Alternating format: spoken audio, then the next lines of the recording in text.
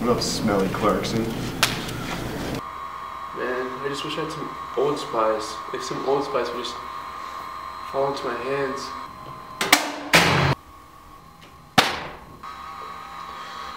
Old Spice.